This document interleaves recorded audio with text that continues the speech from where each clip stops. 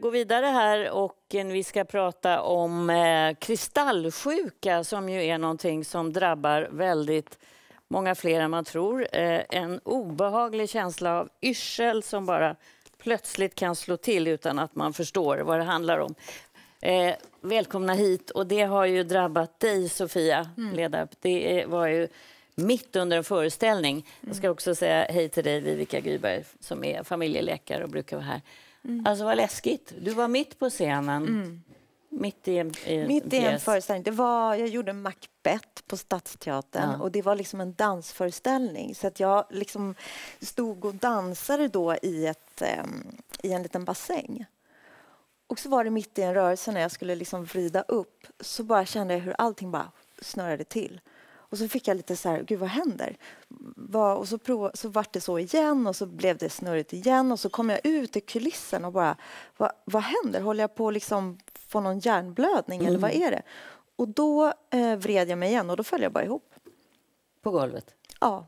Det var du som måste att ha blivit upplevelsen, ja, alltså upplevelsen var som att det gick liksom upp och ner. Mm. Jag hade liksom ingen kontroll. Det var som att kroppen bara föll ihop. Och det här hade du aldrig varit med om tidigare? Aldrig. Vad, vad, vad gjorde du? Tog du till läkare eller gick du ut eh, nej, men Jag spelade ju klart den här föreställningen så här. Gick jag runt och bara okej, okay, jag får liksom gå lite stel och försöka röra mig långsamt. Och sen så, så typ dagen efter så gick jag till läkaren som sa att det var kristallsjukan. Mm. Men det höll ju i sig alltså. Hur länge, länge då? Ja, kanske två, tre veckor. Yrselkänslan? Yrselkänslan och vi satt och gjorde de här liksom rörelserna jag såg lite vad du gjorde förut, men det var inte lika liksom, utan det var lite mindre och sen fick jag mm. sitta upp och sova. Mm. Men har du fått det tillbaka? Nej, men jag kan ju ha känning av det. Alltså mm. min upplevelse är ju att jag kan få lite så här, ja, ta det lite försiktigt när jag vrider om mm. och ibland glömmer jag det och då tycker jag att jag blir yr. Men... För det kan ju sitta i kroppen att man ja. är rädd för det där också. Ja, det var så mm. obehagligt att tappa den kontrollen. Det här har jag förstått, Vivica, är ganska vanligt. Ja, det är... Vi hade en på redaktionen som drabbades av det, men det är lite chockartad upplevelse. Precis, för det är som du sa och som du upplever, det är ju en plötslig yrsel. Mm. Och det är liksom inte bara att man känner sig lite ostadig. Så där. De flesta av oss kan känna igen yrsel från ett blodtrycksfall om man ställer sig upp eller om man har åkt båt länge. att man mm. känner så där. Men det här är en annan typ av yrsel. Det är att hela rummet snurrar. Vi kallar det karusellyrsel. Och det blir dramatiskt eh, från en stund till en annan. Det är kristallerna som eh, rör på sig i örat. Det låter så märkligt. Man ser nästan framför sig såna här glittriga kristaller. Ja. Vad är Vi har ett öra här. Du får berätta mm. vad mm. som händer. Precis. Eh, då, att just hur vi håller balans. Det är flera olika sinnen som eh, samverkar. Och man brukar inte tänka så mycket på det här förrän mm. något slutar fungera. Då har vi synen, att man kan se och parera. Vi har olika liksom, sensorer i muskler och leder som talar om att vi vet var min hand befinner sig i rummet. Eh, vi har det här balansorganet då, som känner när vi rör huvudet också hur vi förhåller oss till eh, gravitation och naturligtvis då känsel att vi kan Ska vi titta in i örat där så ser vi hur det ser ut? Och då ser vi ytterörat här och hörselgången in och sen ser vi trumhinnan och mm. små hörselbenen och det här blåa, det mm. är då där balansorganet sitter. Och så här ser det ut. Då. Och då ser vi igen det här lilla rosa, det är trumhinnan, de små hörselbenen. Eh, snäckan här, det är hörselsnäckan, cochlea. vad hände då mm. när Sofia kände det här att kristallerna åkte ut? Eller vad hände? Ja, precis. Då är det så att inne i balansorganet finns det som två säckar med kristaller. De här kristallerna ska hållas inne i de här säckarna. Men då kan det vara så att en kristall åker ut och hamnar i någon av de här båggångarna. Ni ser de här mm. looparna på bilden där. Och det är då eh, orsakat av att man gör en häftig rörelse? Kan det vara det? Ja, alltså det vanligaste är att det hamnar i den bakre båggången. Och då tror vi att det har att göra med att man ligger ner och så åker någon sån här ut genom en liten eh, Men varför? öppning. Vi vet inte exakt varför som det eh, händer. Men det kan hända och det är inte särskilt ovanligt som, som vi sa. Mm. Och det som händer då är att inne i de här båggångarna så finns det vätska. Och den rör sig när vi, vi mm. rör oss. Och så finns det små känselceller då som känner av hur den här vätskan rör sig. Men när en kristall kommer ut så sätter den fart på den här vätskan. För och då upplever vi att vi rör oss fast vi sitter stilla. För du Sofia upplevde ju att det var eh, i samband med att du rörde dig så häftigt. Ja, precis. Jag vred huvudet. Mm. Men när jag pratade med läkare då, då pratade man lite om så här, att det var kopplat till stress.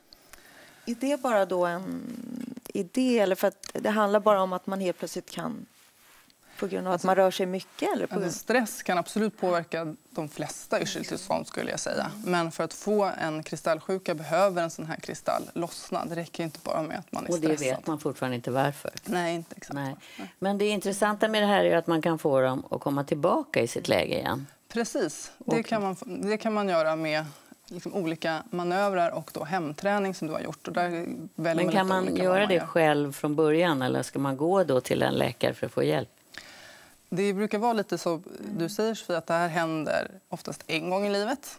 Och det är en ganska dramatisk händelse. Så jag skulle säga att de allra flesta söker ju vård, kanske till sin vårdcentral, men det är inte heller ovanligt på våra akutmottagningar att man kommer för att man kan ju kaskadkräka så att det är ju enormt obehaglig upplevelse.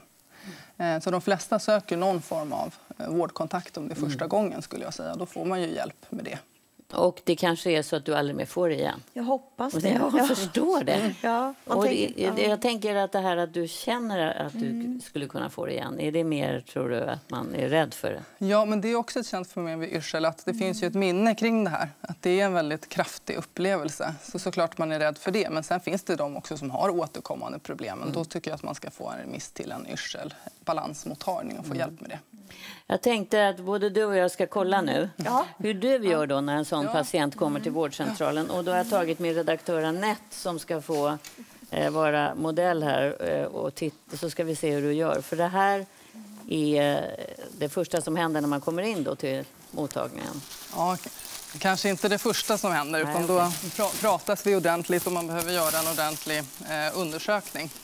Eh, men det här är en av de då, eh, tester som man kan göra och också även eh, behandling. Eh, och nu så tar jag helt enkelt på mig här det som vi jobbar i idag för att det ska vara korrekt även fast jag har jag själv har haft covid så att jag har, eh, har ju antikroppar och sådär. Hela utrustningen måste på för du kommer vara ganska nära Precis. din patient som i det här fallet är Anette. Så Anette, då sitter du bra där. Och då om vi tänker oss att Anette då har sitt vänstra öra då påverkat. Eh, då kommer vi göra först ett test. Den första delen av testet är också del av behandlingen men även undersökningen. Och då ska vi göra en snabb rörelse bakåt nu Anette. Så där, ner. Eh, och då testar vi ditt vänstra öra här. Och då brukar vi ha ett par specialglasögon på som jag inte har med då, så man kan titta på ögonen. För de rör sig nämligen väldigt ryckigt som man kan se det här. Och när patienten då säger att yrseln avtar, då håller vi kvar kanske i två, tre minuter. Och sen så rör man långsamt över till andra sidan. Så håller man samma tid här. Nu gör jag lite snabbare för att vi är tv här. Sen ska du nu få vända över på din axel här på sidan. Håller kvar huvudet nedåt. Och så vänder du näsan ner i golvet. Jättebra. Så ligger man kvar här i två, tre minuter också. Och sen så då sätter man sig upp så håller du kvar huvudet tills du sätter dig upp med benen ner här. Och sen får man då eh, sitta kvar då i eh, gärna åtminstone en kvart då, att man inte rör på huvudet. Och genom att göra det här så kan vi få tillbaka kristallen i rätt läge och man kan faktiskt bota den här yrseln med den här behandlingen. Men Vivica, Mm. vad, och sen då när man kommer hem, vad gör man för små övningar då? Ja, då får man olika, alltså huvud, de är lite annorlunda då, att man kan få luta sig fram och tillbaka på sin säng och sådär. Så att, Jag trodde man liksom slängde ner patienten. Jag vet inte var jag har fått det Jo, men det är helt rätt. Det finns ett hemträningsprogram där man liksom får slänga sig eh, själv åt sidan och göra olika huvudrörelser. Så det finns också det finns olika manövrar och olika varianter på de här. Det här är ganska också. mjuka rörelser som du gör nu. Ja, det är den första rörelsen som är, är är snabb. Då. Och sen Mm. de andra tar man det försiktigt för att eh, patienten inte ska få väldigt obehaglig yrsel. Då. Känner du igen det här nu? När du... Ja, fast jag tror att jag fick lite mindre rörelser faktiskt. Och Man får ju lite så här, "Åh", panik när man ser Mm, det. att det... Ja, det sätter... Men, vad- hur vet man att kristallen har lagt sig på plats igen? Jo, det brukar kunna vara så att man får en patient som går och håller sig i väggen för att man mår Okej. så dåligt när man kommer in. Och sen så kan man få en ganska glad patient som kan gå normalt när de, när de går därifrån. Alla blir inte helt bra. Då kan man behöva göra de här eh, hemövningarna eh, eller kanske upprepa den eh, till och För, med. för det tog ju tre veckor för dig. Ja, det tog jättelång tid. Och det är inte särskilt ovanligt heller, men en del kan man få eh, bra. På en gång. Och Att det de kan ju vara flera kristaller som lossnar och man inte får tillbaka allihopa. Men är, det är inte farligt att gå omkring med det här? Det är inte farligt, men det är otroligt obehagligt. Men den här yrseln är ju inte konstant hela tiden, utan den är ju uttröttbar. Så det är just det här vid olika huvudrörelser då som är... Du har chansen att ställa frågor här nu om du Ja, ja, men precis. Men när de här kristallerna, du sa en kristall eller är det? Det kan vara flera. Det kan vara flera, ja. Som, ja, okej. Okay. Och så åker de då tillbaka genom att man eh, liksom Man lutar. gör den här liksom rotationen. Vätskan rinner tillbaka då, är det så? Ja, då åker den tillbaka i de här eh, säckarna. Men blir man extra känslig om man har gått igenom det där en gång, att det kommer tillbaka? Nej, det brukar Nej. vara att man är med om detta eh, en gång. Mm. Men eh, med det sagt så jag, jag träffar personer som har mm. det här återkommande. Mm. Känns det betryggande? Mm. Det känns bra. det, är ett, det är ett kroppsminne ja, naturligtvis och även mentalt. Mm. Att man, känner du så när du står på scenen? Tänk om det händer ja, igen? Ibland, ibland liksom just med såna rörelser. Mm. Just för att jag kan känna mig lite yr ibland. Mm. Men, äh, ja.